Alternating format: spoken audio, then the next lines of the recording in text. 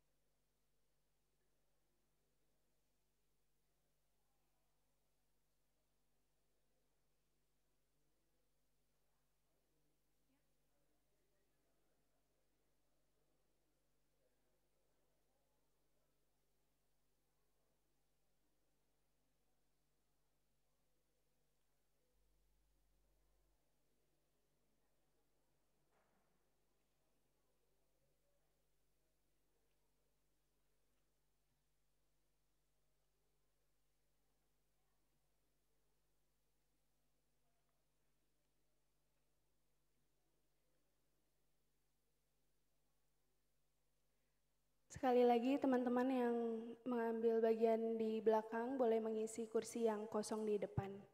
Terima kasih.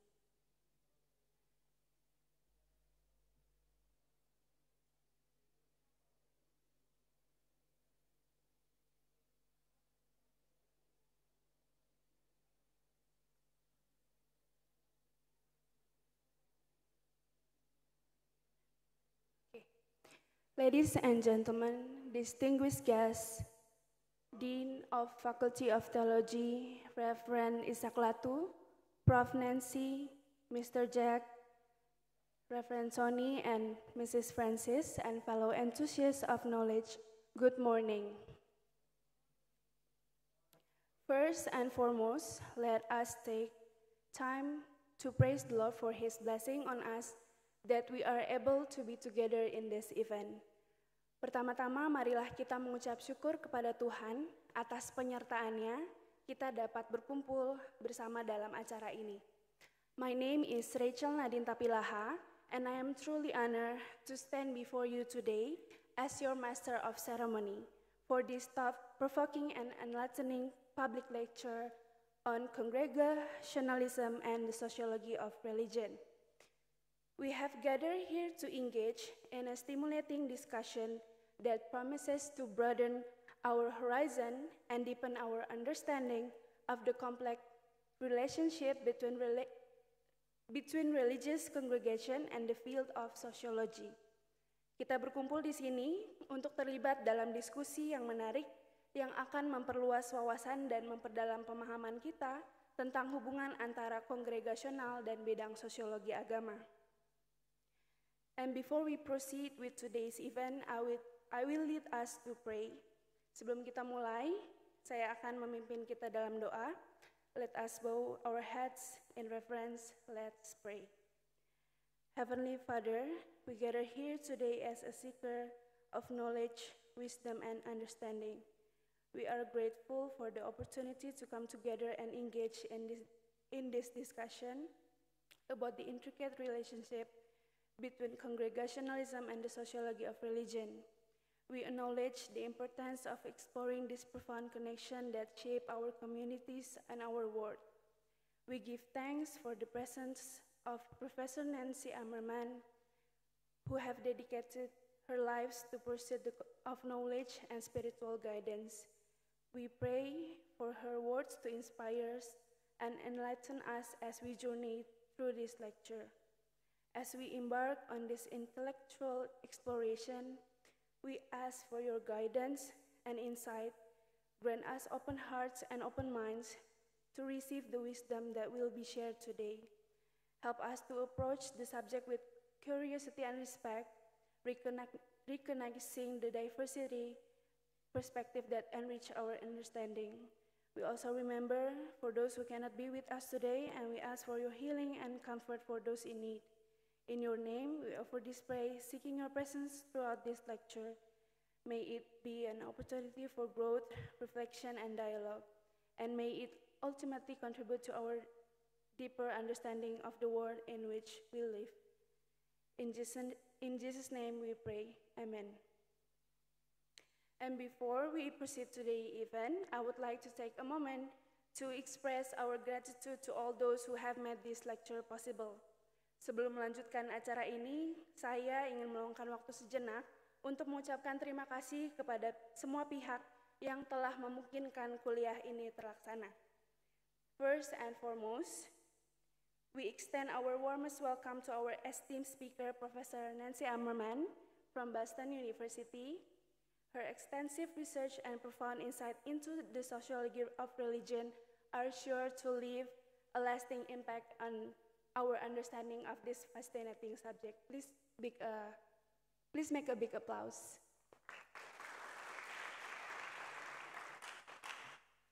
And we are also honored to have with us today our moderator, Reverend Sonny Christiantoro, his expertise in theology and his dedication to fostering intellectual dialogue make him the perfect guide for our discussion today. Kami juga merasa terhormat karena pada hari ini Pendeta Sony akan memandu diskusi kita pada kuliah tamu hari ini. Please make a big applause for Reverend Sonet. And therefore, without any further ado, I would like to invite Reverend Sony as moderator, and Professor Nancy as speaker, and also Mrs. Francis as the interpreter to take place at the front. And we will start our lecture. Please make big applause.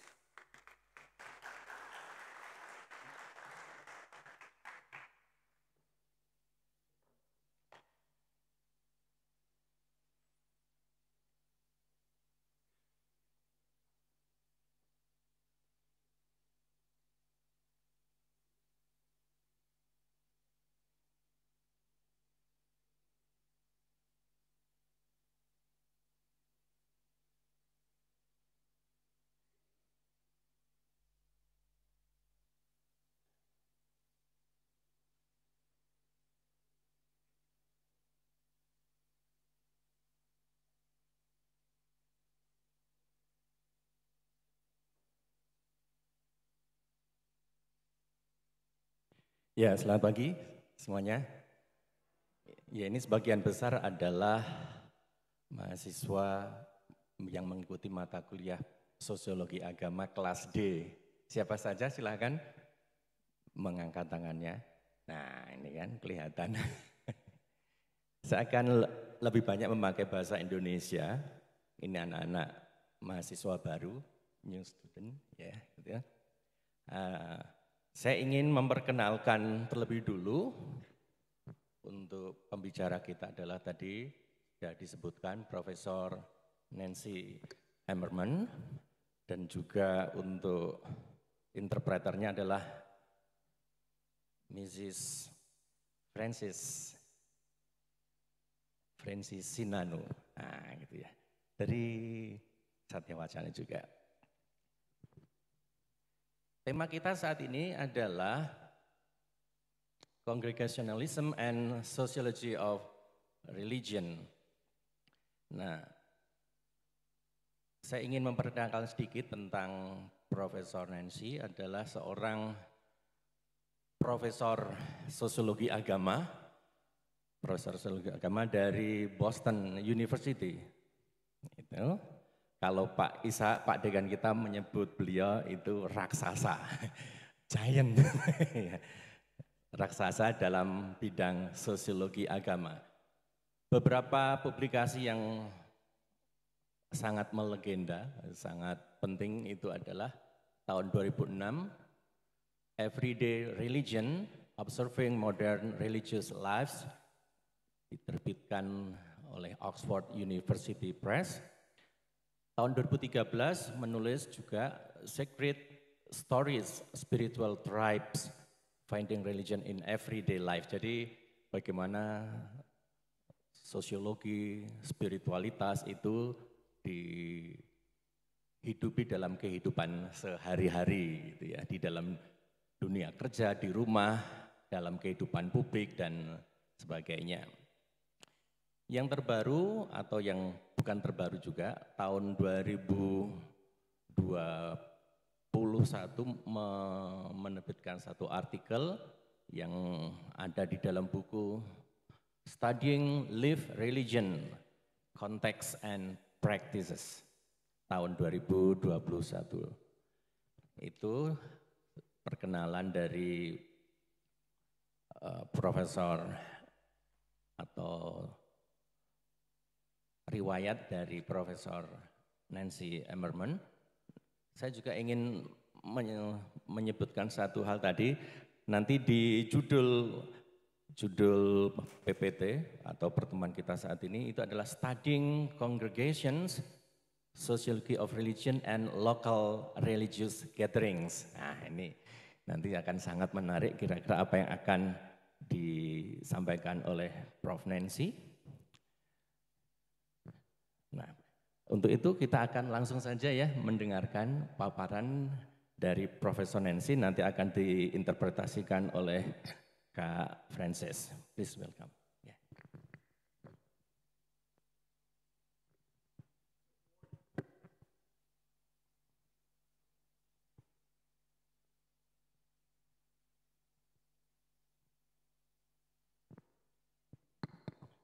Good morning. It is lovely to be here with you and to talk today together about being sociologists. You all are sociologists, right? Good. About how sociologists look at congregations. And by congregations, I want to talk about congregations as a, a lots of different kinds of gatherings. So try to think about any of the ways that people in a local place gather religiously and do things together like worshiping and serving each other and organizing in various ways. So that's what we're going to talk about this morning.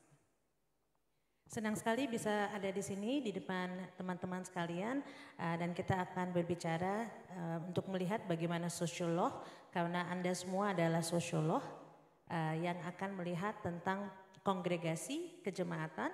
Dan ketika saya berbicara tentang kongregasi saya akan melihatnya dari berbagai bentuk perkumpulan atau orang berkumpul dalam tempat-tempat lokal dan di mana orang-orang yang berkumpul itu melakukan kegiatan-kegiatan uh, spiritual atau keagamaan termasuk uh, beribadah dan lain-lain.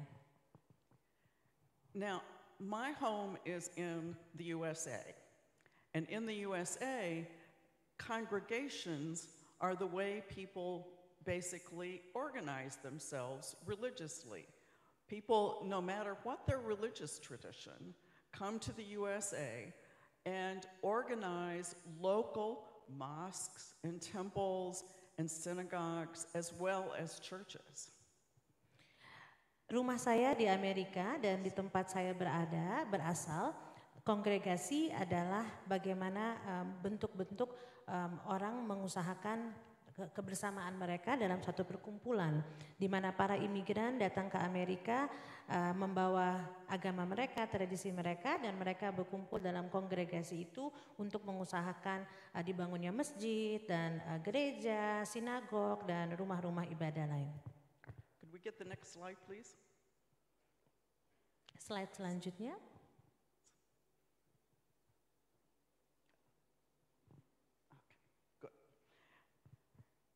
Now, I'm going to give you your first fancy sociological word of the morning. Sekarang saya akan memberikan kalian satu istilah uh, canggih, istilah keren sosiologi uh, yang untuk Anda pagi ini. Institutional isomorphism. Istilahnya adalah institutional isom, is, isomorfisme institusi. Can you say that back? Apakah Anda bisa mengulanginya? Okay, good. Good first start. Awal yang baik. So, what that essentially means is that organizations that are part of a similar category, like church, tend to organize in similar ways. They tend to become, they tend to start to look alike. They're isomorphic. Apa artinya istilah keren ini adalah bahwa organisasi-organisasi yang em, kurang lebih sama di- dibentuk dengan cara yang sama, maka atau yang sederajat, yang selevel, maka mereka cenderung juga untuk t- menjadi sama, rupanya sama, di mana ketika orang melihat organisasi itu, orang-orang akan bisa mengidentifikasikan organisasi itu dengan organisasi sejenis. Now, that's true not just of churches, but of all kinds of organizations. So, store, bank, uh, school, any kind of organization that we recognize as having a kind of category that defines it will start to organize in similar ways. Ini tidak saja berlaku bagi gereja, tapi juga bagi eh, toko-toko, bank, sekolah-sekolah, organisasi apa saja yang eh, didefinisikan dalam kategori yang sama, mereka akan cenderung eh, sama. And there are three reasons why this happens. One is legal, or as the theorists who talk about this uh, phenomenon call it coercive. That is, sometimes there are rules that say you have to organize in a certain way if you want to be recognized as a bank, a church, or a school. Ada tiga alasan mengapa eh, isomorfisme ini bisa terjadi. Yang pertama adalah alasan eh, hukum, di mana em, ada aturan-aturan yang mewajibkan suatu organisasi untuk em, di- untuk diikuti eh, supaya organisasi itu bisa disebut bank atau bisa disebut sekolah karena me- memiliki atau memenuhi kriteria-kriteria yang ditentukan dalam kategori itu. The second reason is mimetic, that is, copying. You start a new school or bank or church, it's easier to do it like everybody else has already done it than to invent a whole new way of doing it. Alasan yang kedua adalah alasan kepraktisan bahwa lebih mudah untuk menyontoh eh, organisasi sejenis yang sudah ada, misalnya mau membuat membuka sekolah yang baru, lebih gampang untuk melihat sekolah yang sudah ada dan mengikutinya daripada menciptakan sekolah dari eh, sama sekali dari baru, dari tidak ada. And the third reason is normative. That is, if you want to be a school, you want to look like people understand schools should look. Alasan yang ketiga adalah alasan normatif di mana em, jika kita ingin membuat suatu sekolah, maka kita ingin membuat sekolah itu tampak seperti sekolah yang sudah dikenal oleh masyarakat, oleh umum. So that's why we're going to talk about congregation or local religious gathering as a category of kinds of organizations that have some similar kinds of pro- social processes going on. Karena itu, sekarang kita akan berbicara tentang kongregasi atau eh, perkumpulan-perkumpulan keagamaan di tingkat lokal sebagai eh, suatu organisasi yang memiliki kategori-kategori yang sama. Next slide. Slide selanjutnya. So even when you're not in the United States, we can talk about local religious gatherings as having some important social characteristics and functions. They set patterns for how people think about their religious lives. Jadi walaupun eh, kita Anda tidak berasal dari Amerika, kita bisa melihat perkumpulan-perkumpulan ag- keagamaan di tingkat lokal ini berdasarkan karakter-karakter dan fungsi-fungsi yang, eh, yang dimilikinya dan bagaimana em, kesemuanya itu membentuk pola-pola bagaimana masyarakat bertil- bertingkah laku di, di- di organisasinya. And they are places where people pass on religious traditions and the rules and authorities that are part of those traditions, as well as being places where people organize together to get things done. Dan ada tempat-tempat di mana tradisi-tradisi keagamaan diteruskan dari satu generasi ke generasi yang lain diturunkan dan juga ada tempat-tempat di mana uh, orang-orang mengusahakan tradisi uh, kegiatan bersama kegiatan-kegiatan keagamaan dilakukan. Next slide. I'm going to suggest some ways of looking at congregations, ways of thinking about what we see when we look at a local religious gathering. And we're going to call these frames, like frames of a picture that give us a way of seeing.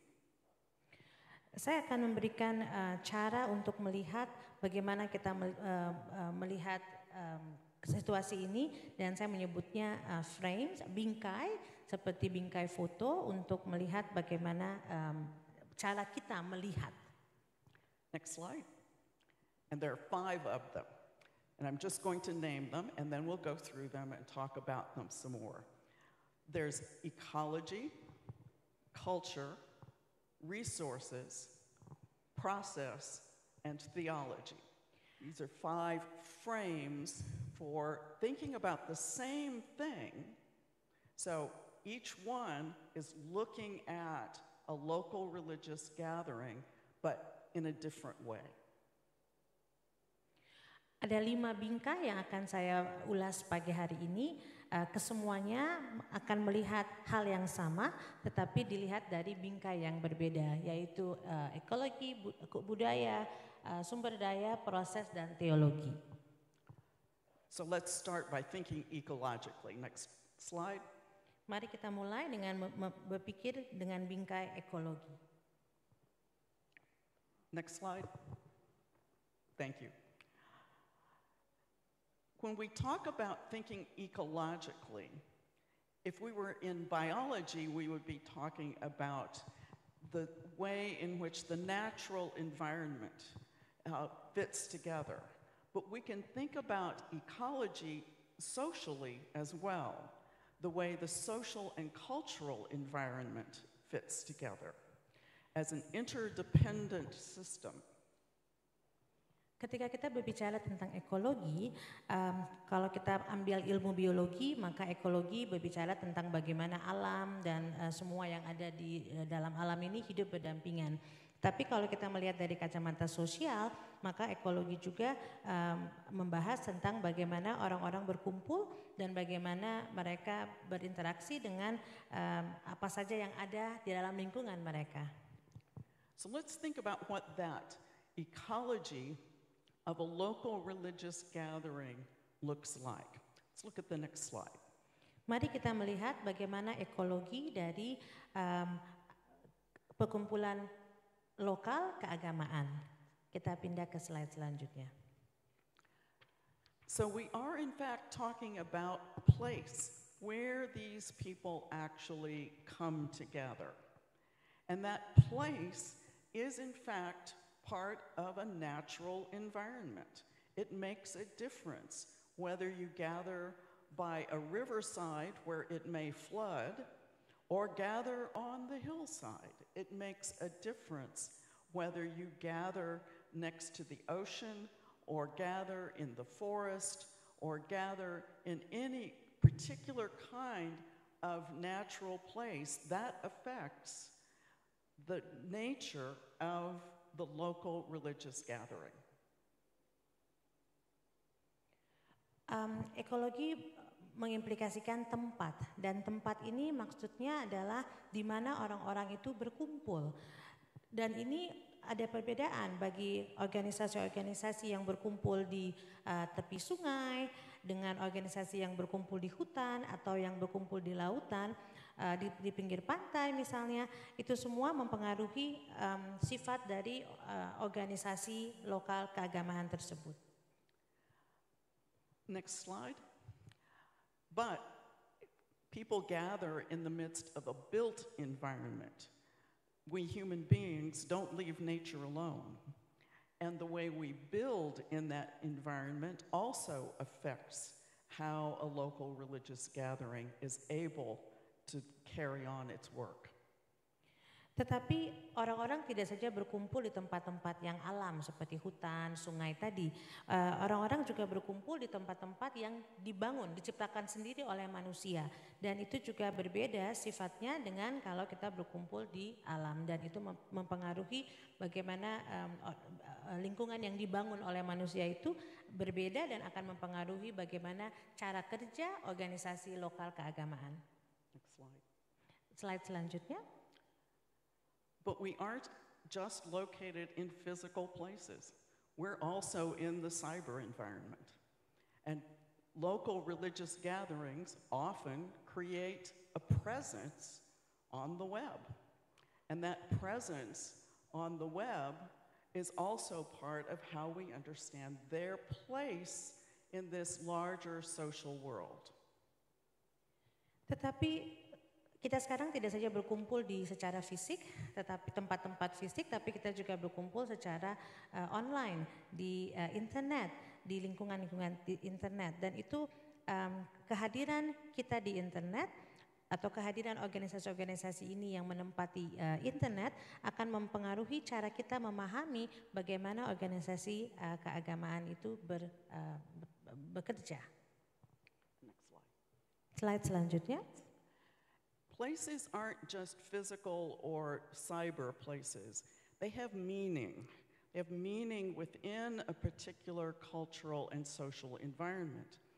Uh, those places are defined by the kind of cultural and social and economic resources that are present in that environment.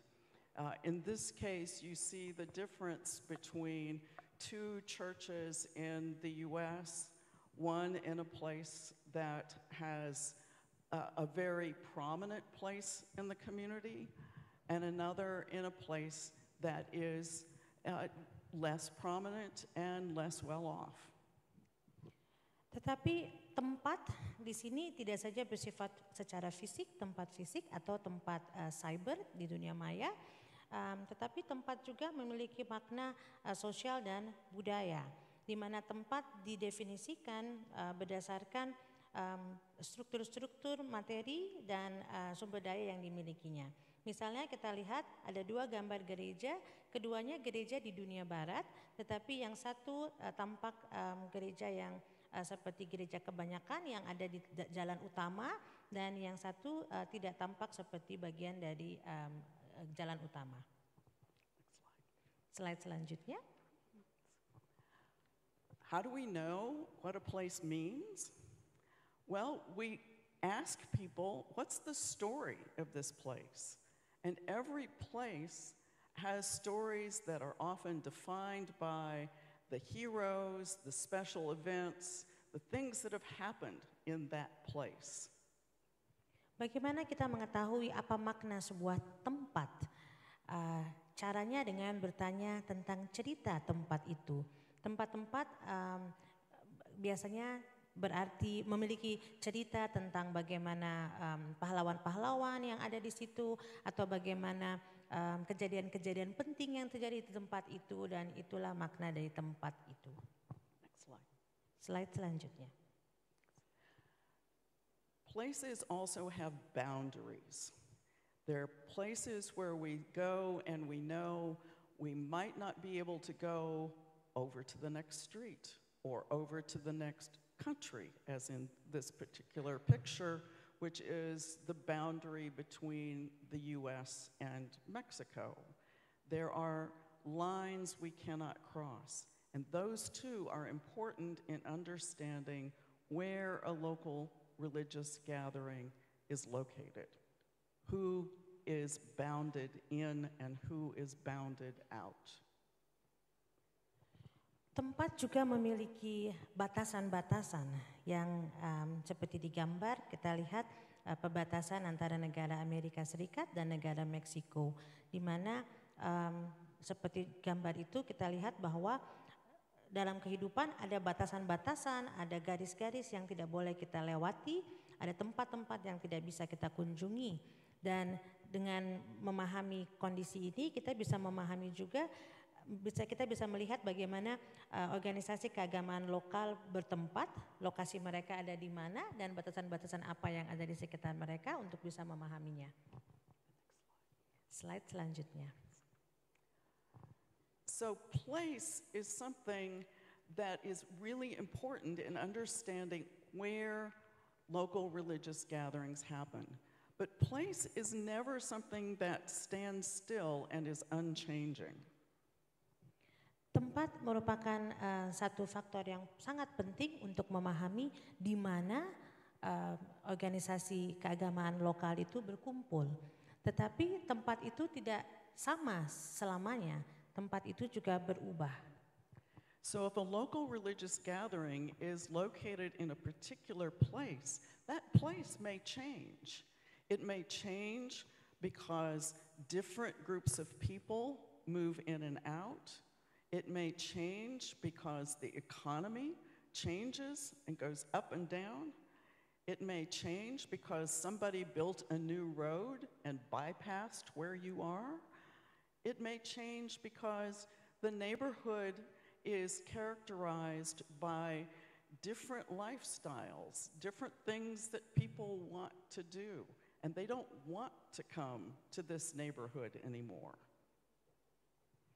Tempat berubah bisa saja karena ada migrasi, ada orang yang datang, pindah masuk ke dalam tempat itu atau keluar. Tempat juga bisa berubah karena ada ekonomi, uh, perkembangan ekonomi.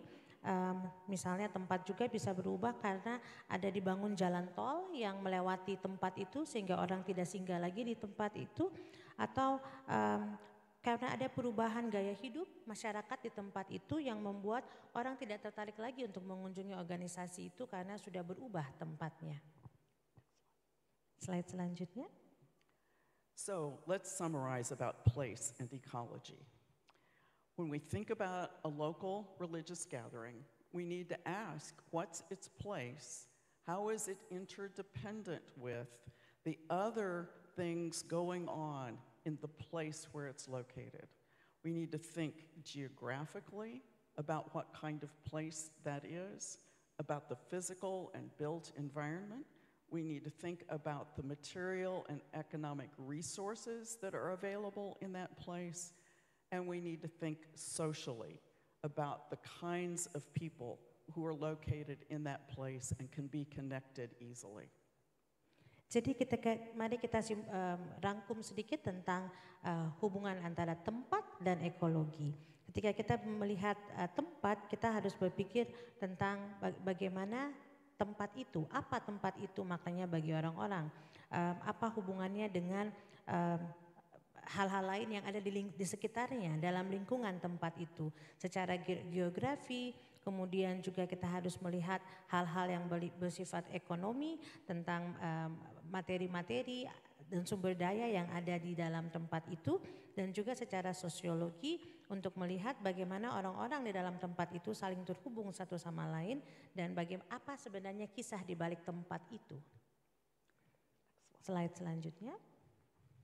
Okay, so that was ecology. Now we're going to talk about process, looking at a local gathering through the process frame. What do I mean?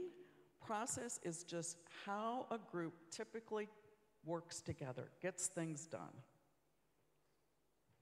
Sekarang setelah kita membahas bingkai yang pertama yaitu ekologi, kita akan pindah kepada bingkai yang kedua yaitu tentang proses. Bagaimana kita melihat uh, suatu organisasi, uh, kongregasi melalui uh, kacamata proses. Nah, di sini maksudnya adalah bagaimana kelompok itu bekerja untuk mencapai sesuatu, untuk mengerjakan sesuatu. Slide selanjutnya. One of the first things to ask about process, how things get done, is what are the rules? There are often formal rules for a religious gathering, some of which come from our polity. Uh, in religious organizations, there are often theologically defined rules for how you organize, who's in charge. And books of order or written agreements about how a congregation is supposed to be organized. Pertanyaan pertama yang perlu kita tanyakan ketika kita ingin melihat tentang um, proses tentang bagaimana uh, bagaimana organisasi itu melakukan uh, pekerjaannya adalah menanyakan tentang aturan-aturan. Karena dalam organisasi perkumpulan-perkumpulan keagamaan um, sering kali ada aturan-aturan formal, baik itu berupa berupa aturan karena tradisi dari zaman ke zaman ataupun karena aturan berdasarkan uh, dasar-dasar teologi maupun aturan yang disepakati bersama dan ditulis menjadi buku buku aturan atau buku uh, tata tata tertib. Slide selanjutnya. But you're sociologists, so you should know that you don't just go by what people say they're supposed to be doing, you also look for how they're actually informally working together. Tetapi kalian semua adalah sosiolog, jadi kalian tidak hanya melihat tentang aturan-aturan formal tentang bagaimana seharusnya terjadi, tapi kalian juga harus melihat tentang hal-hal yang informal yang terjadi dalam organisasi itu. So you're going to be watching and listening for whose voice really matters when people are trying to decide what to do. Is it the person who's been part of the group the longest? Is it the person who has the highest status in the community? Is it the person who's seen as the expert? Is it the person who simply gets real respect by people in the community, no matter what the subject is. Karena itu sebagai sosiolog Anda harus memperhatikan dengan cermat dan juga mendengarkan untuk mendengar suaranya siapa yang didengar ketika uh, dalam organisasi itu. Uh, dan dalam mengambil keputusan suaranya siapa yang didengar? Apakah suara dari mereka yang paling lama ada dalam organisasi itu atau suara orang yang statusnya paling tinggi, atau suara orang yang dianggap sebagai ahli, pakar, atau suara orang yang dianggap uh, yang dihormati dalam organisasi tersebut. Kita akan uh, boleh kembali satu slide, Mas. Back. Satu lagi. Uh, uh, yes. Just uh, to reinforce the particular sources of informal uh, authority in a congregation. And now we can go. Ini hanya untuk menunjukkan kembali uh, informal aturan-aturan uh, informal yang ada dalam kongregasi. So now we're ready to think theologically. Sekarang kita sudah siap untuk berpikir secara teologi. Uh, next slide. Slide selanjutnya. Congregations, local religious gatherings, of course, have a theological dimension to what they're doing. Not, we hope so. Uh, and so, as sociologists, it's important for us to think about watching for, paying attention to, how people are actually understanding their relationship with their religious tradition, with the divine, with God. Ketika ke kongregasi atau lokal um, organisasi perkumpulan agama-agama di tingkat lokal berkumpul dan bekerja, kita harus kita harus percaya bahwa pasti mereka memiliki dasar teologis untuk melakukan uh, perkumpulan mereka tersebut. Tetapi kita juga harus melihat bahwa uh, bagaimana mereka berhubungan satu sama lain dan juga bagaimana um, hubungan mereka dengan uh, kekuatan yang lebih besar uh, tentang ketuhanan uh, dalam mereka melakukan uh, perkumpulan mereka. Next slide. This one's a little uh, hard to decipher. My apologies. Um, mohon maaf, tabelnya mungkin agak susah dilihat. But the point of the slide is that when we surveyed congregations in the US in different theological or religious traditions and asked them what was most important about uh, their mission or what they're trying to accomplish in the world, people in different theological traditions gave different answers. Tapi tabel ini walaupun susah, ini saya tampilkan untuk menunjukkan bahwa kami mensurvei um, beragam organisasi keagamaan di Amerika dari tradisi-tradisi keagamaan yang berbeda uh, untuk menanyakan uh, apa, uh, bagaimana mereka melihat uh, mencapai tujuannya di dunia. So the, excuse me, the more uh, liberal Protestants, mainline Protestants, uh, and Catholic and Orthodox uh, churches were more likely to say that their main reason, their main understanding of their mission in the world was to serve their communities or, in some cases, to try to change the world.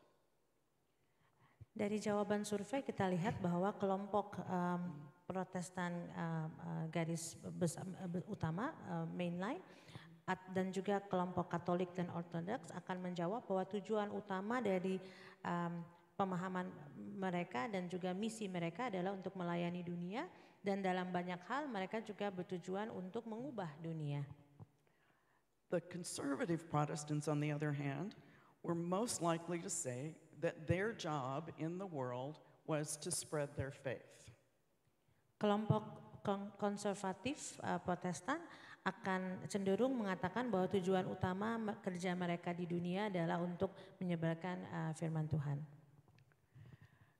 So local religious gatherings are shaped by the particular theological traditions that they're gathering around. And those traditions shape what they do in their own internal life together and in how they are present in the larger community. Oleh karena itu, uh, perkumpulan-perkumpulan keagamaan lokal ini dibentuk oleh tradisi-tradisi teologi mereka dan apa yang mereka lakukan um, secara internal maupun secara dengan orang lain di dunia juga dipengaruhi oleh tradisi-tradisi teologi masing-masing. So that's another frame we can look through. Jadi itu adalah bingkai yang lain untuk melihat uh, kongregasi. Slide selanjutnya. The next frame we're going to look through is a very mundane frame called resources. We're not only interested in socio eh, sociologists in what people say they should be doing, but also what they think they can do, what they have the resources to accomplish. Kita akan masuk ke bingkai yang selanjutnya yaitu bingkai as resources sumber daya dan sebagai sosiolog kita tidak saja melihat uh, pada apa yang seharusnya atau bingkai teologis tadi tetapi juga melihat apa yang bisa dilakukan. Next slide. Slide selanjutnya. So I want to draw your attention to a number of different kinds of resources a local religious gathering might have. Saya akan uh, membawa perhatian Anda untuk melihat apa saja sumber daya yang dimiliki oleh um, organisasi keagamaan lokal. One of the things that a local religious gathering needs to get things done is people. And you need not only uh, numbers of people, but also the skills that those people bring. Salah satu yang harus dimiliki adalah orang dan orang ini bukan saja jumlah orang itu tapi juga keterampilan-keterampilan dari orang-orang di dalam organisasi itu. It also helps to have facilities, buildings, technology, other ways that you have the space and the tools to do what you want to do. Hal lain yang penting dimiliki juga adalah fasilitas, baik itu gedung, bangunan, atau teknologi yang akan menjadi perangkat atau alat-alat untuk membantu mencapai tujuan, mengerjakan apa yang harus dikerjakan. Sometimes we don't have the resources ourselves, but we know somebody who does. We have partners. We are able to work together with another congregation, a denomination, an NGO, other people in the community who can bring resources that we don't necessarily have in our congregation. Kadang-kadang kita tidak memiliki cukup sumber daya untuk mengerjakan apa yang harus kita kerjakan. Dan disitulah kita membutuhkan uh, mitra. Dan kemitraan ini kita dalam kemitraan ini kita bisa bekerja dengan uh, kongregasi jemaat-jemaat lain atau juga jemaat dari denominasi uh, lain atau LSM LSM atau uh, apa saja yang bisa bekerja dengan siapa saja yang bisa bekerja sama dengan organisasi kita untuk uh, mencapai tujuan atau untuk mengerjakan apa yang harus kita kerjakan. And yes, of course, resources have to include money. Uh, Organizations need money that they get from the gifts of their members, but sometimes organizations that have been around a long time maybe have uh, accumulated some money they can draw on from endowments. Uh, or perhaps they're really good at writing grants and getting other people to give them money to do things that they want to do.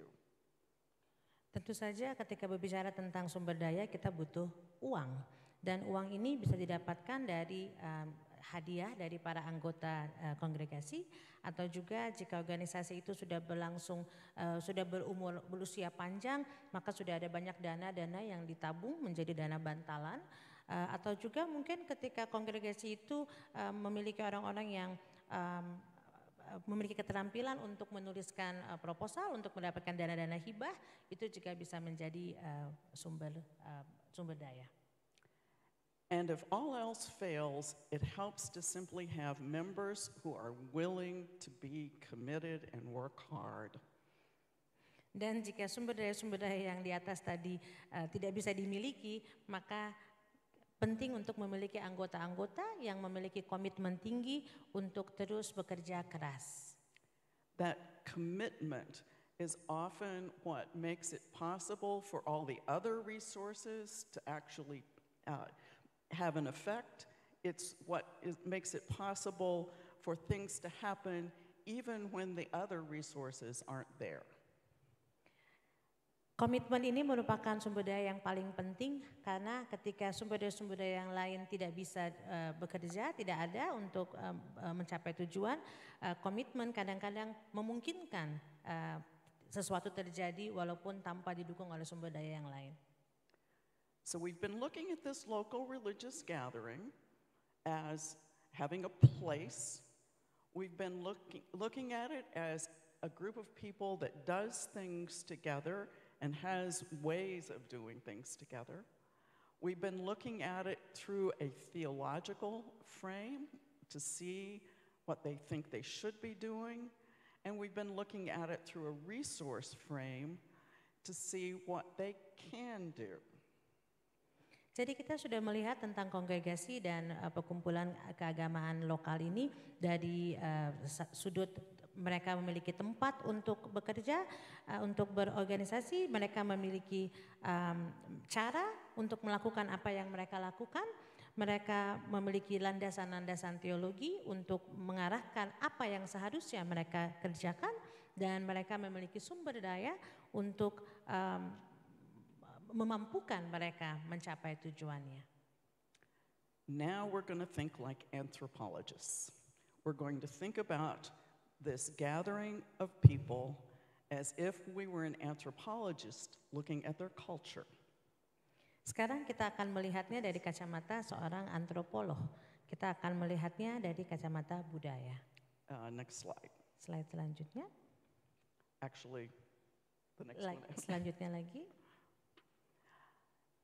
And here I want to remind you of some important social theory that comes to us from Peter Berger and Thomas Luckmann and their book, The Social Construction of Reality. Uh, saya ingin mengingatkan uh, kalian semua tentang uh, teori-teori uh, sosial, uh, sosiologi dari Peter Berger dan Thomas Luckmann dalam buku mereka uh, Social Construction of Reality, real, konstruksi sosial uh, realita.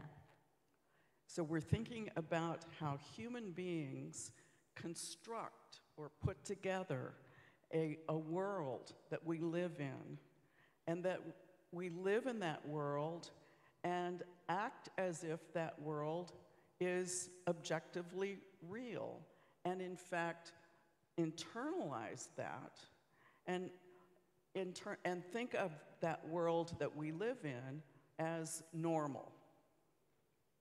Jadi kita sekarang akan um, melihat bagaimana manusia uh, mengkonstruksikan dunia tempat tinggalnya sebagai nomos, kemudian bagaimana dunia itu memberikan um, realitas yang kita anggap sebagai kenyataan objektif dan bagaimana kita menginternalisasikan uh, dan berpikir bahwa um, itu semua adalah sesuatu yang normal.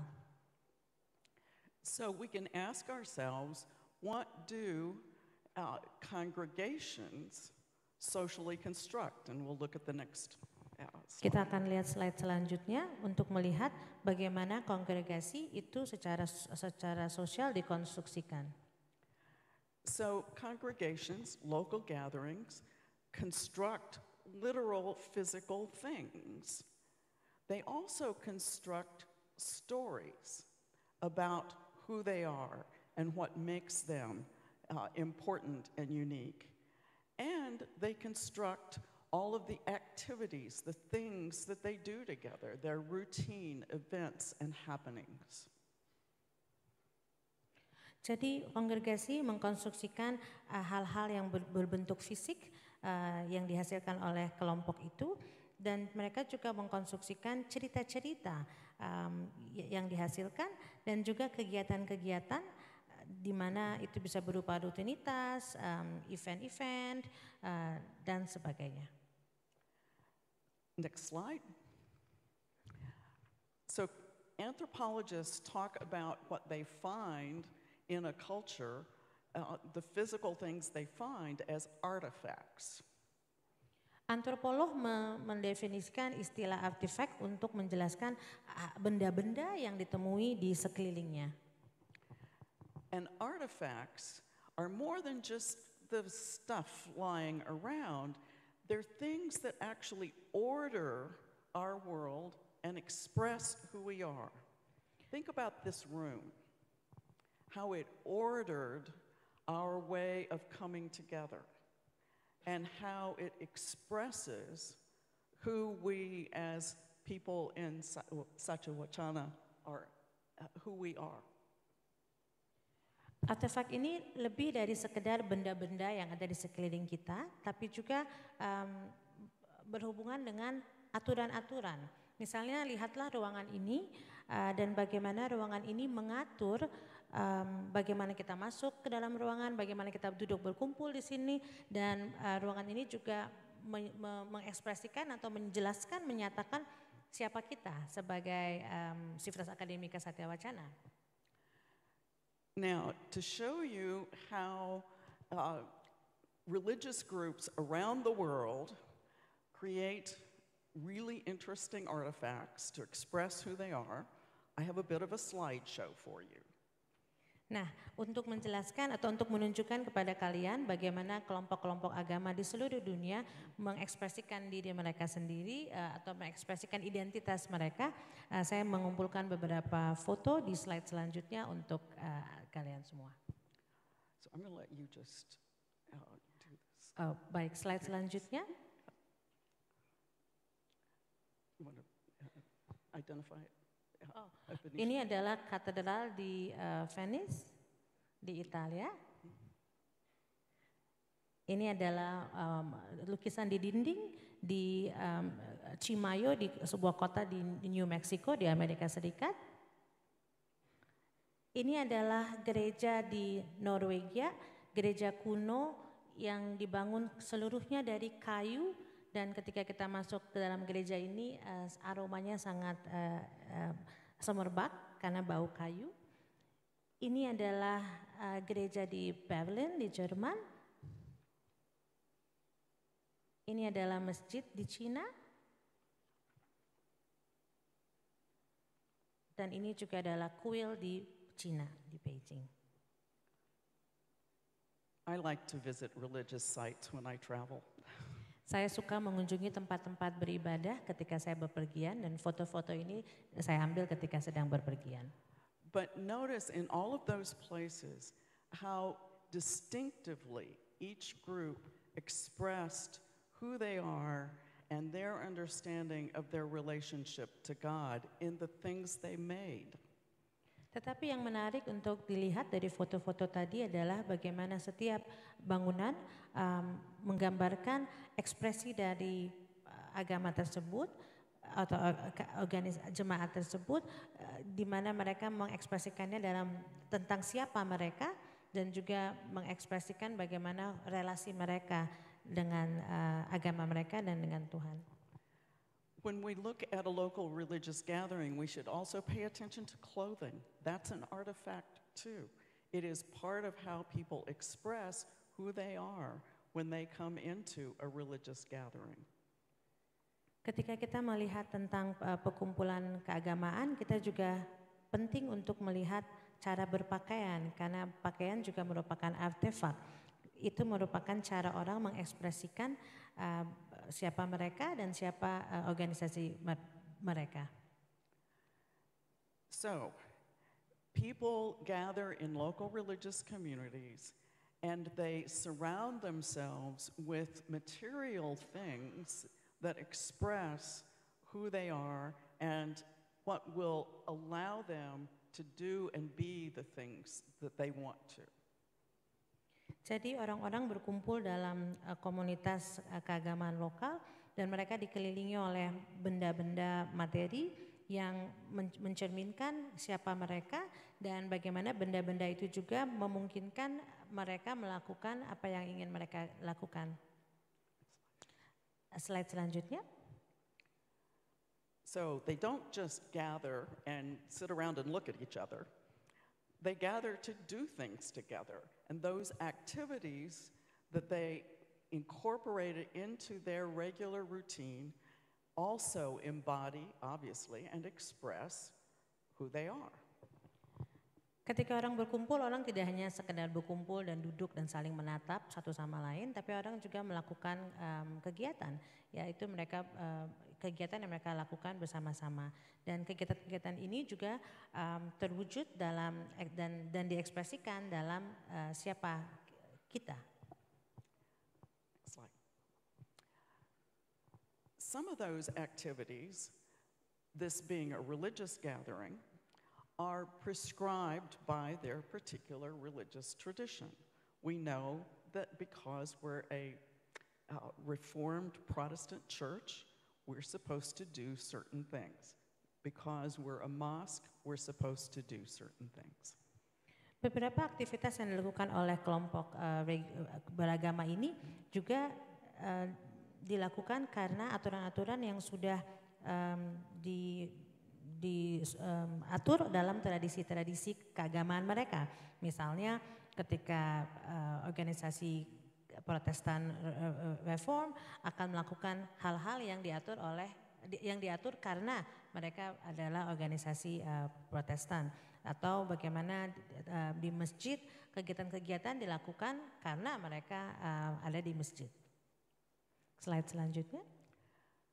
So I want you to pay particular attention when you're looking at the activities that people are involved in in a local religious community and pay attention not just to sort of um, the order of, of worship or the things that people say they're, uh, how they describe what they're doing, but pay attention to how they're actually expressing themselves, how they're using their bodies, their movement, their emotions in expressing themselves. Jadi ketika um, Anda memperhatikan atau mengamati aktivitas kegiatan, Anda tidak hanya harus mengamati um, apa yang dikatakan orang-orang tentang apa yang mereka lakukan atau apa apa yang mereka ekspresikan, tapi kita harus mengamati tentang um, bagaimana mereka mengekspresikannya melalui uh, gerak tubuh, melalui perasaan yang yang mereka tunjukkan. Next slide. Sometimes when people come together in local religious communities, they have very emotional or spiritual experiences, but not always. Not all activities will produce a kind of spiritual high.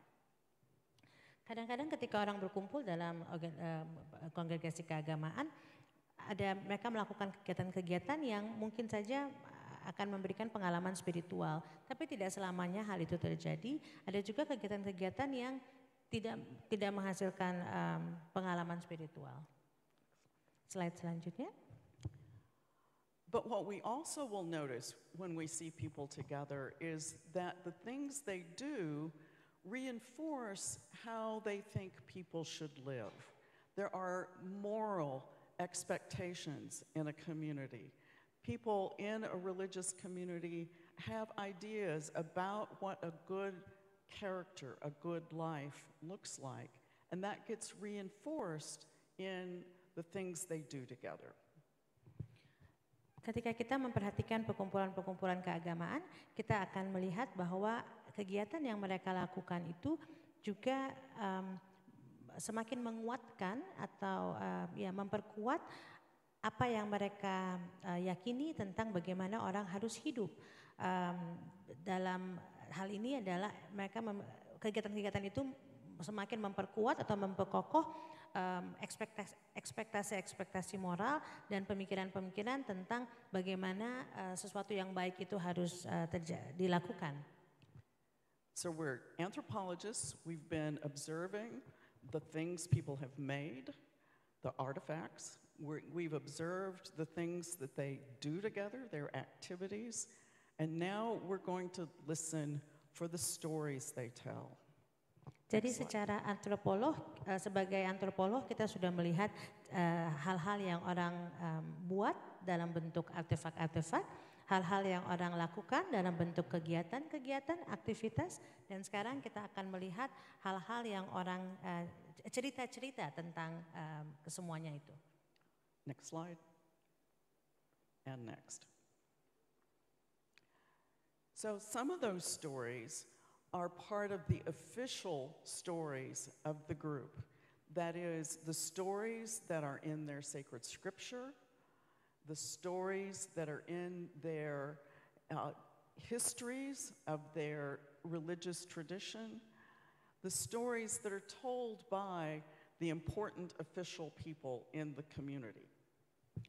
Jadi cerita-cerita yang uh, ada dalam uh, organisasi keagamaan itu uh, bisa saja berupa cerita-cerita yang uh, tertulis dalam kitab suci mereka atau cerita-cerita berdasarkan sejarah keagamaan uh, tradisi mereka atau cerita-cerita yang disampaikan oleh uh, orang-orang yang dianggap sebagai uh, pemuka agama mereka. Slide selanjutnya. But it's not just the official people who get to tell the stories. There are also important stories that are told around the dinner table and in all sorts of informal conversations in a, a local religious gathering, in a congregation. People have their own stories about the important events, the things that illustrate who we really are. Tetapi cerita-cerita tidak saja uh, didengarkan, uh, tidak saja berasal dari orang-orang uh, penting dalam keagama, orang pemuka-pemuka agama. Karena cerita-cerita itu juga muncul dalam percakapan-percakapan sehari-hari. Misalnya ketika ngobrol di meja makan atau dalam perkumpulan uh, perkumpulan keagamaan, uh, percakapan-percakapan tentang bagaimana ke- ke- baga- bagaimana keseharian mereka tidak hanya berdasarkan dari uh, pemuka agama.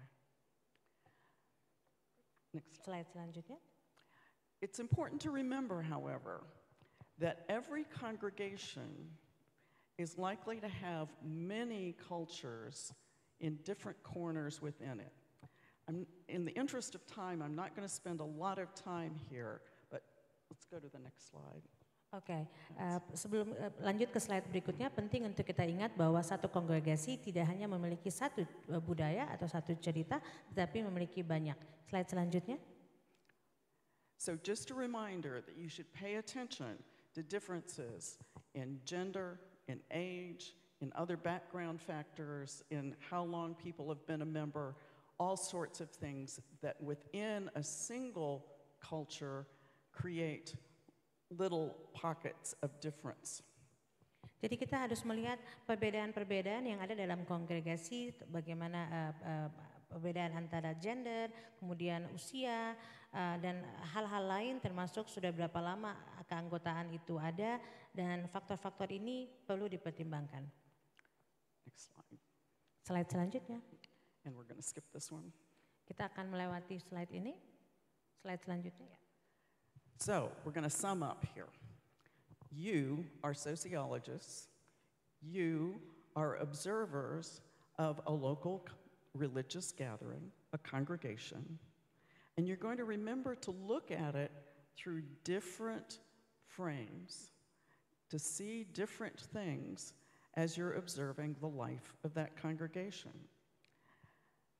There are lots of things to think about when you think about actually becoming an observer in a congregation. And hopefully, we can link to uh, a, a resource that may be useful to you is if you think about undertaking a study of an actual local religious gathering yourself. Baik, mari kita simpulkan di sini bahwa um, kalian, Anda semua adalah sosiolog, Anda semua adalah pengamat, dan anggap saja Anda akan mengamati kongregasi, jemaat, atau perkumpulan organisasi lokal, dan Anda akan melihatnya dari berbagai bingkai. Anda akan melihatnya dari banyak sisi dan tidak mudah untuk menjadi uh, observer. Tapi kalau Anda ingin melakukan uh, penelitian sebagai observer, di sini ada link yang akan membantu untuk uh, pekerjaan Anda sebagai sosiolog. Mas boleh diklik linknya untuk sambung ke website.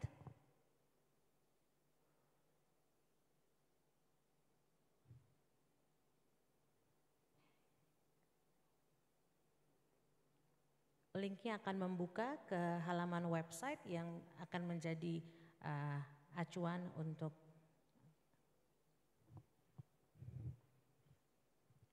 menjadi observer.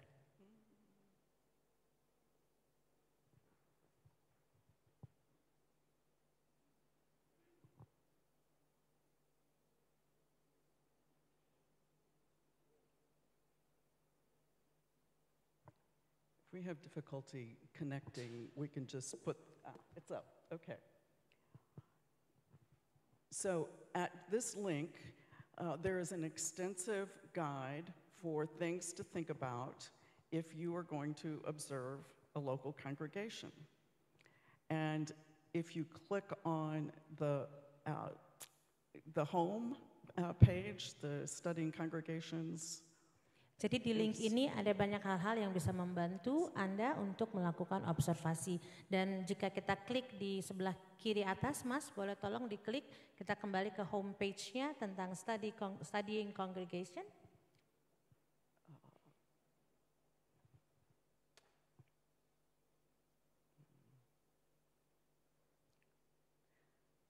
This will take you to the home page for this website which includes, uh, it is built around the five frames that we've been talking about, and which includes lots of resources, things you can read, things you can do if you are, as a sociologist, interested in studying congregations. Jadi link ini akan membuka uh, homepage dari um, website Studying Congregation dan akan memberikan uh, kelima bingkai yang sudah kita bahas tadi uh, jika Anda tertarik untuk mempelajari kongregasi.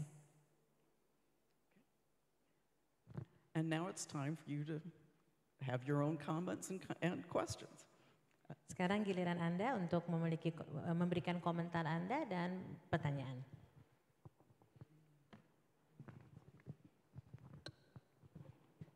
Ya, jadi saudara-saudara ada beberapa hal penting tadi yang sempat saya catat bahwa Bu Nancy tentu hidup dalam budaya dan tempat yang tidak sama dengan kita, hidup di Amerika dengan berbagai macam perbedaan yang ada, tapi ada hal-hal atau prinsip-prinsip penting yang bisa juga diterapkan tentu di dalam kehidupan bergereja, berjemaat di sini.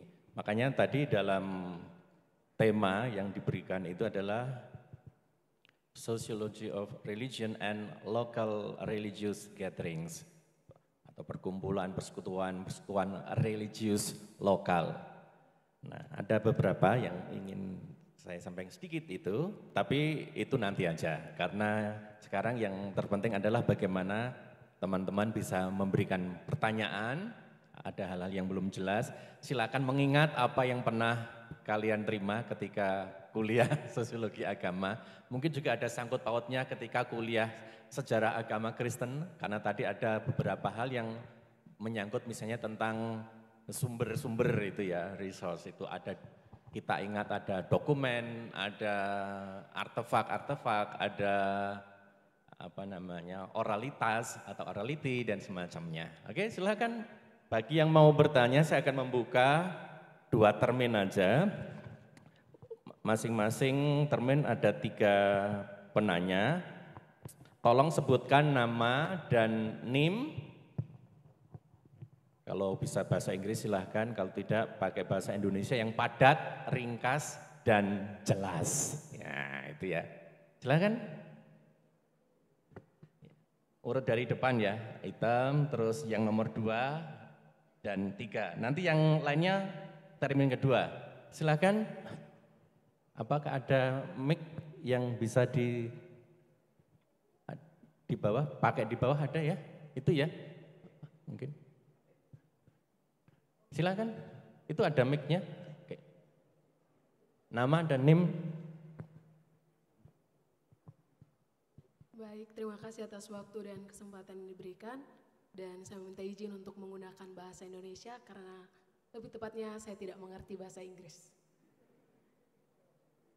Oke, baik pertanyaan saya. Oh, perkenalkan nama saya Trisna Setia Selan, NIM 71 2023 166. Nah, di sini saya mau bertanya mengenai apakah masyarakat beragama di Amerika Serikat pernah mengalami diskriminasi dan apakah agama, apakah uh, negara mencampuri akan urusan itu? Lalu bagaimana cara sosiologi agama di Amerika menanggapi akan hal itu? Dan uh, jika tidak adanya diskriminasi, uh, apa contoh yang dilakukan oleh masyarakat Amerika? Dan menurut saya itu patut untuk dicontohi. Apabila uh, masyarakat Amerika tidak pernah mengalam, uh, melakukan diskriminasi.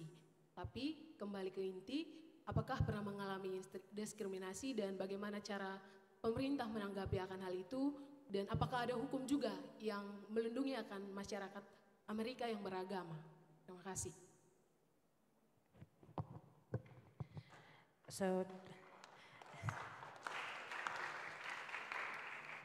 So her question is um, whether the religious community in America uh, ha has ever experienced a discrimination, and if uh, they have, um, what has the government uh, done uh, about it, and also how um, how how do you and or the, the religious soci sociology of religion community um, re responds to that? Uh, and if you don't have any discrimination, would you just give an example uh, that we can follow here? Yes, there has been religious discrimination in the US, in spite of the fact that we claim to be a place with religious freedom. That freedom is limited. In our long history, originally, when Europeans first came, they set up different places where the Puritans were in charge in one place, the Anglicans were in charge in another place, the Catholics in another place, and they discriminated among those. Today, what's more likely is that groups that are new religious movements, uh, like the Unification Church, uh, Reverend Moon, uh, or like various pagan groups um, that practice uh, forms of uh, witchcraft and other kinds of magic or conjuring uh, those are groups that may be, um, that the government may limit and say you can't practice these things. Uh, and sociologists of religion often respond by uh, trying to help the government understand the nature of these religious groups so that they don't seem so scary. Jawabannya iya, di Amerika Serikat ada uh, diskriminasi terhadap masyarakat uh, beragama, walaupun uh, konstitusi menjamin kemerdekaan beragama, tetapi uh, kemerdekaan itu terbatas sifatnya. Di zaman awal mula bangsa Eropa datang ke Amerika, mula-mulanya agama-agama itu dibagi menjadi tempat-tempat satu daerah dikuasai oleh tempat untuk beragama umat yang puritan, satu daerah untuk kaum Anglikan, satu daerah untuk mereka yang beragama Katolik. Tetapi dalam perkembangannya saat ini agama-agama baru yang baru masuk ke Amerika misalnya gereja unifikasi atau kelompok-kelompok pagan yang mempraktekkan ritual-ritual keagamaan yang sifatnya magis dan itu oleh negara dibatasi.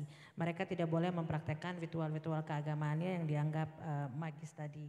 Dan jika ditanyakan apa peran dari sosiologi agama, maka uh, para sosiolog berusaha mendampingi pemerintah untuk memberikan pemahaman tentang agama-agama baru yang datang, agama-agama kecil ini uh, sehingga pemerintah tidak terlalu takut melihat uh, perkembangan agama-agama kecil ini. It's also worth noting that the European settlers in North America never really were willing to uh, incorporate the indigenous communities that were already there in North America. And the religious traditions of those communities have, over the years, systematically been uh, suppressed and discriminated against. Dan perlu untuk ditekankan bahwa para pendatang kaum Eropa ketika datang ke Amerika Utara, mereka sama sekali mengabaikan dan tidak meng, tidak pernah mengikut sertakan tradisi-tradisi dari agama uh, kaum pribumi yang sudah lebih dulu ada di sana dan bahkan tradisi-tradisi keagamaan kaum pribumi di sana semakin hari seiring dengan waktu semakin ditekan dan didis, menerima diskriminasi.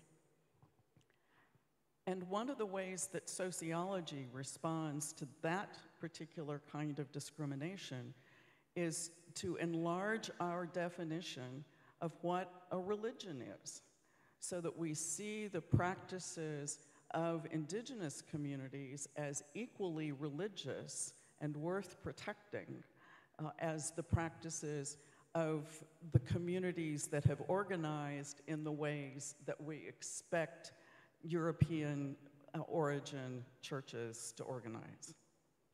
Dan cara sosiologi agama menghadapi uh, diskriminasi itu adalah dengan memperluas definisi dari agama. Uh, agama bukan saja agama seperti yang di organisasi atau yang dikonstruksikan dari agama-agama yang dibawa oleh orang Eropa ke Amerika, tapi juga menyertakan tradisi-tradisi lokal dari kaum pribumi juga dianggap sebagai uh, agama.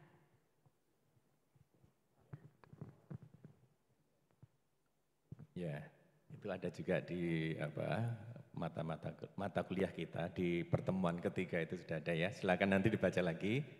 Oke, yang kedua tadi di belakangnya agak belakang. Oke, silakan.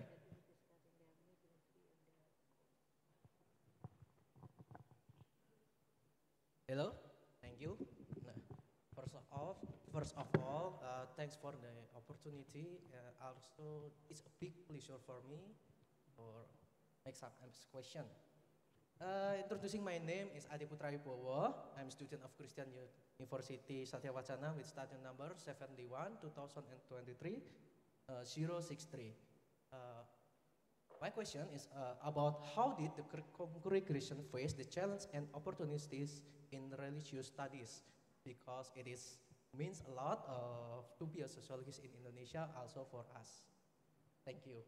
Uh, pertama-tama terima kasih atas kesempatan besar ini untuk bertanya. Perkenalkan nama saya Adi Putra Wibowo, mahasiswa Universitas Kristen Saja Wacana dengan nomor induk 71 2023 063. Pertanyaannya bagaimana tantangan yang dihadapi dan juga peluang eh, mengenai kongregasi ini dalam persoalan studi agama karena hal ini sangat cukup berarti untuk menjadi untuk kami semua menjadi seorang sosiologis di Indonesia. Terima kasih.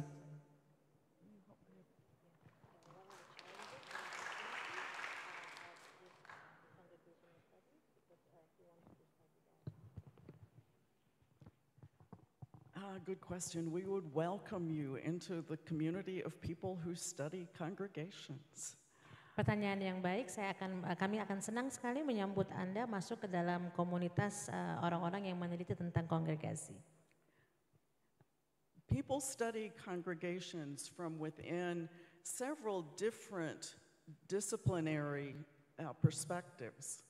Sometimes people are uh, in religious studies departments, sometimes in theology departments, sometimes uh, they are themselves leaders of religious communities who want to better understand and lead their communities. So there are a number of places where people uh, have the opportunity to address this particular way of thinking about what religion is and how it's expressed in the world. Orang belajar tentang uh, kongregasi dari different, uh, dari perspektif uh, keilmuan yang berbeda. Ada yang dari uh, bidang sosiologi, ada yang dari bidang teologi, bahkan ada juga pemuka-pemuka agama yang tertarik untuk memperdalam pemahaman mereka tentang uh, jemaat mereka sendiri, kongregasi mereka sendiri, dan mereka mempelajari uh, kongregasi.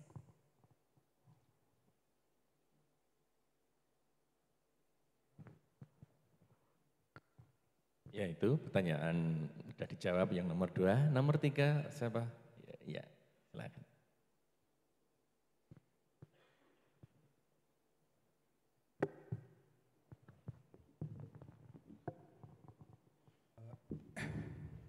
Thank you for, uh, thank you very much, uh, Prof. Nancy, for the material exposed this morning. My name is Johari Butar Butar, name 71 2023 049. Now I want to asking to Prof. Nancy about how the negative and positive impact of five frame concretion is on religion eh, is is sociology of religion in America. Thank you very much.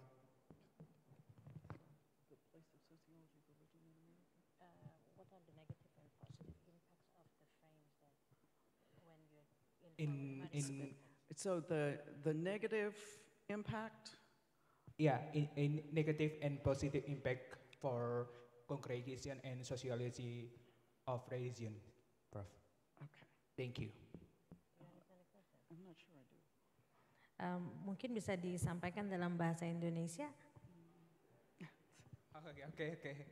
Eh, pertanyaan saya eh, bagaimana dampak negatif dan positif dari eh, lima eh, jendela tadi eh, congregation itu dan sosial sosial eh, beragama sosial agama di Amerika thank you Jadi um, ya- yang ingin ditanyakan apakah kelima bingkai tadi itu ada memiliki dampak, dampak negatif dan negatif dan positifnya. positif dalam melihat kongregasi Ya. da- dari perspektif uh, uh, pengalaman di Amerika? ya Um, yeah, so he wants to know whether um, the five frames that you explained earlier, um, if you have seen how the frames bring a negative or a positive uh, impact, uh, uh, effect on understanding the congregation, uh, whether one has more or less, I'm not really sure, but uh, based on the American uh, experience, looking for as a sociologist.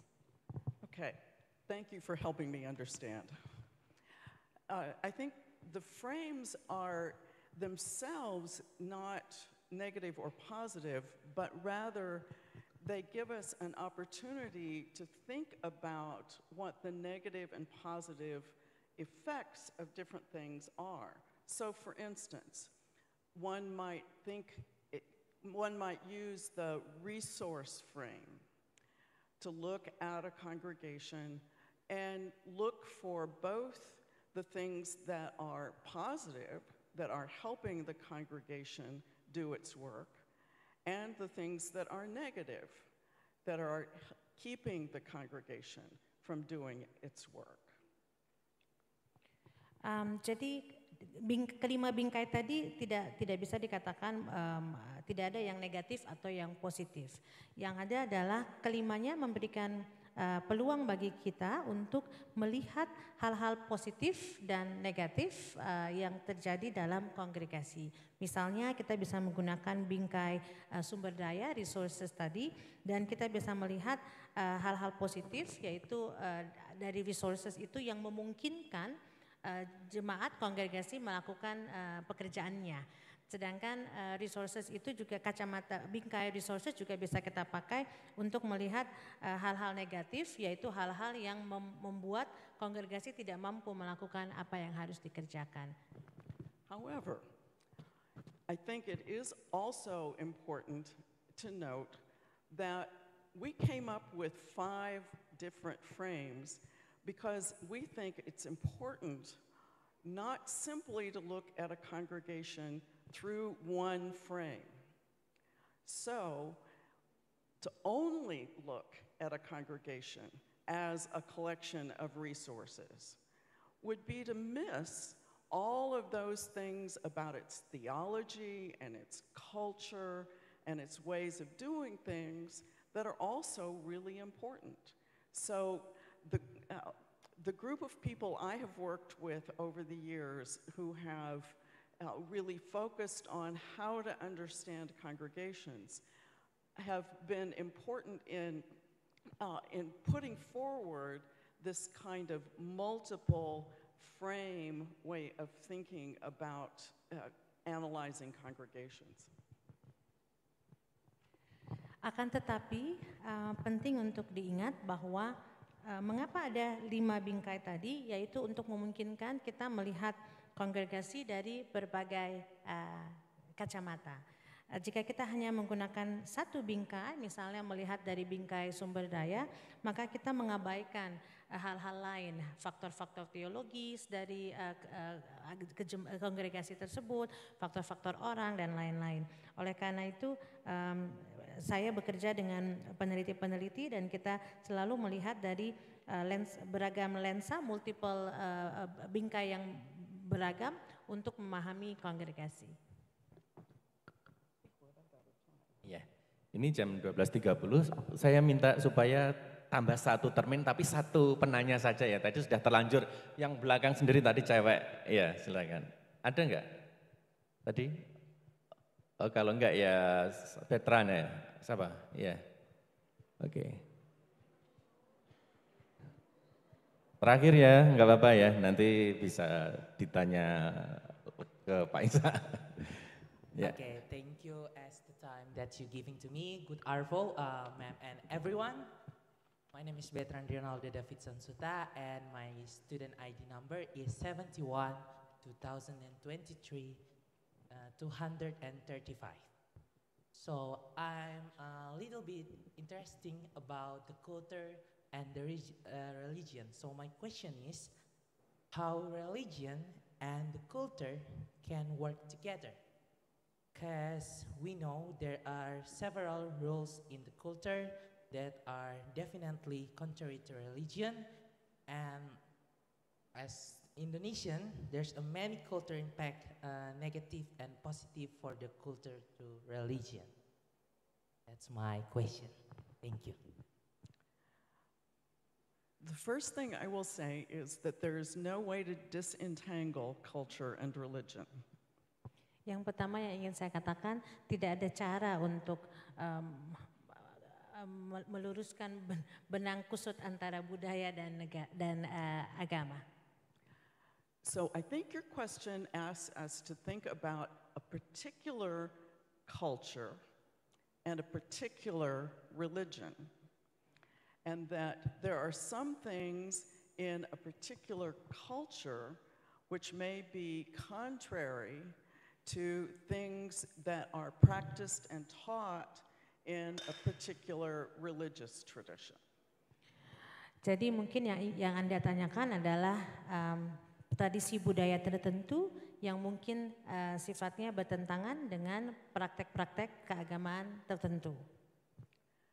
So we're really talking about things out there in the larger landscape of all of the ways that we live together and live out our everyday lives, the culture, and all of the things that we see as the ways in which we are religious and practice uh, a particular religious tradition. And those things are going to affect each other. Jadi uh, budaya dan agama saling berkaitan, uh, saling terikat dan uh, kita bisa melihat bahwa budaya merupakan kerangka yang lebih luas, uh, payung yang lebih besar yang mencakup kehidupan sehari-hari, cara kita hidup. Sedangkan untuk melihat hal yang lebih kecil, kita bisa melihat uh, bagian dari budaya yang besar itu adalah praktek-praktek keagamaan, bagaimana kita melakukan kegiatan-kegiatan yang sifatnya spiritual dan uh, keagamaan.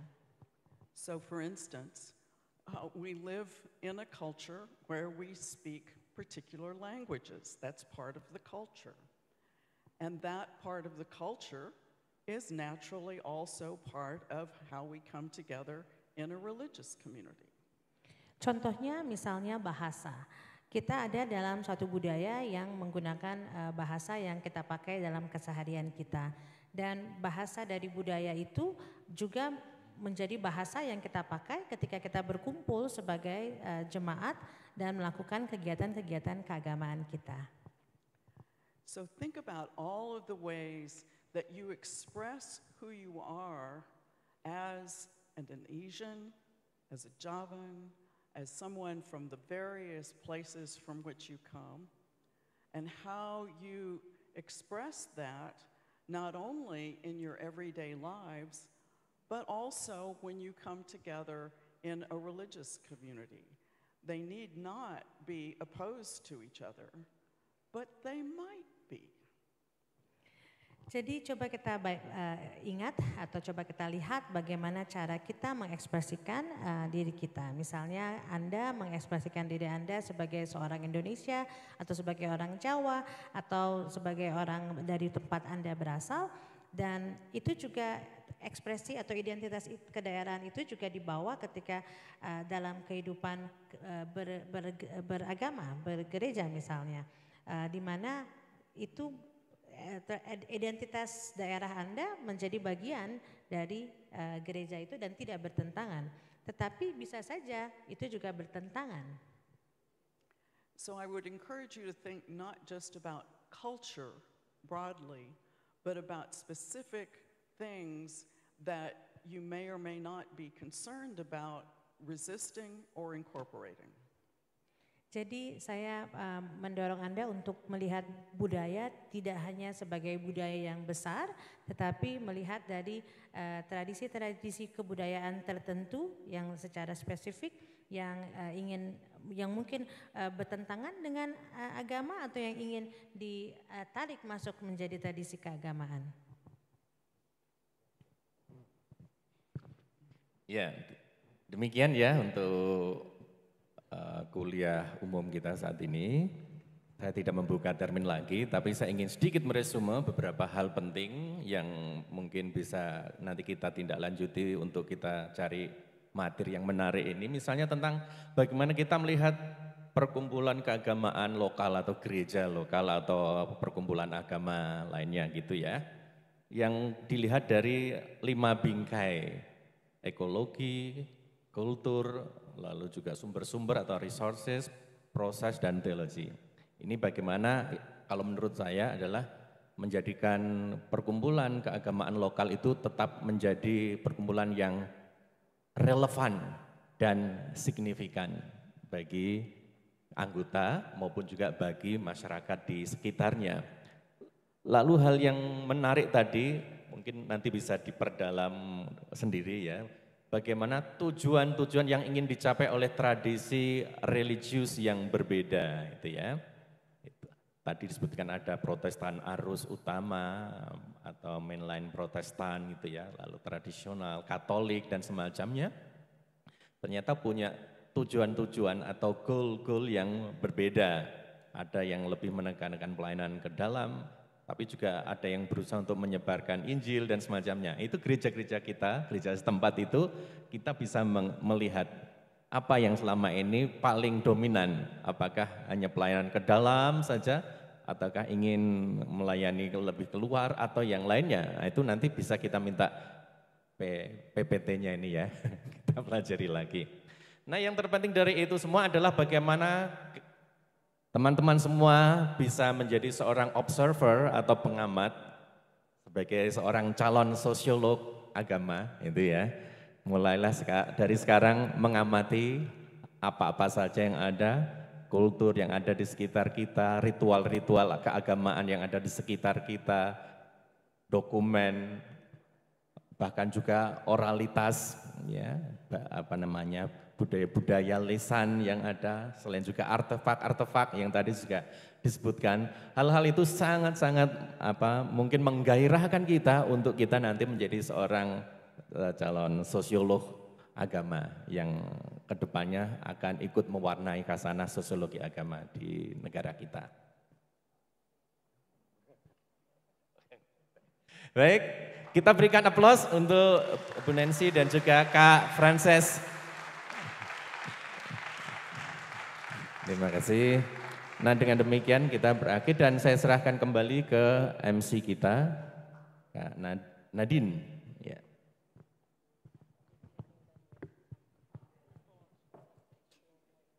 As we come to the end of this enlightening journey through the world of congregationalism and the sociology of religion, I would like to take a moment to express our heartfelt gratitude to each and every one of you. Our deepest appreciation goes to Professor Nancy Emmerman, who has generously shared her expertise and insight. Thank you, Prof. Nancy. And we would also like to extend our gratitude to Reverend Sonny Christian Toro, who skillfully guided our discussion. Thank you, Pasoni. And to our audience, your presence and active participation have made this even truly special.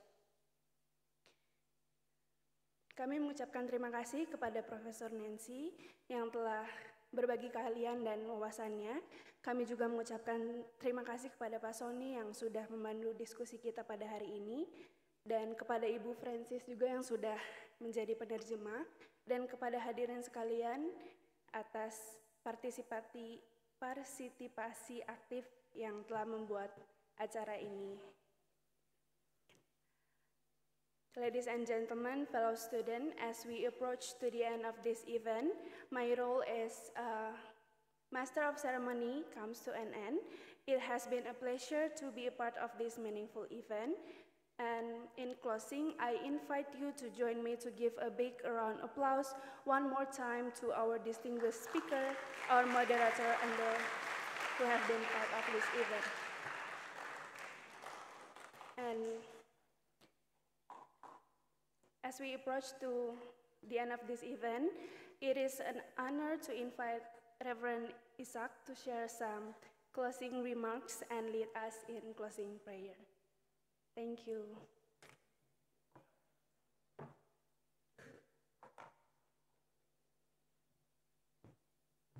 Okay, thank you, uh, Nadine, for your great role as a Master of Ceremony. Thank you again, Ibu Nancy and Masoni and also Ibu Anches for the uh, for event today. Thank you everybody for coming. I do hope that you understand that at least um, we know what is congregational is. So it's uh, how people gather together, how religious community gather, and through that we can understand our sociology of religion and theology. Gak perlu terjemahkan toh? Cukup begitu. Jadi terima kasih sekali semua sudah datang. Kita dapat banyak pemahaman tentang apa itu congregation, tidak hanya soal bagaimana kejemaatan, tapi ketika orang-orang beragama berkumpul, mereka sudah uh, apa namanya, kemudian kita bisa memahaminya sebagai bagian dari uh, sebuah uh, komunitas beragama dan kemudian itu bisa dipahami secara sosiologi agama dan teologi. Oke, sebelum kita menutup kegiatan ini, mari kita berdoa.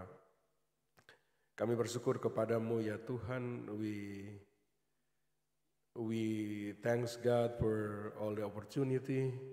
Terima kasih untuk semua kesempatan yang Tuhan berikan kepada kami, especially when today we can learn from Professor Nancy Ammerman, terutama ketika hari ini kami boleh belajar dari Profesor Nancy Ammerman. We bring the knowledge home and we reflect the knowledge in our everyday life and in our community. Kami membawa pulang pengetahuan ini dan merefleksikannya dalam kehidupan pribadi kami dan kehidupan uh, kongregasi kami, kehidupan kejamatan kami. And we pray that we can develop the idea, the knowledge, and it will be blessing for others. Kami berdoa Tuhan supaya kami dimampukan untuk mengembangkan pemikiran ini untuk menjadi berkat bagi banyak orang. In the name of God, Jesus Christ, we pray. Dalam nama Tuhan Yesus, kekuatan kami, kami berdoa. Amin.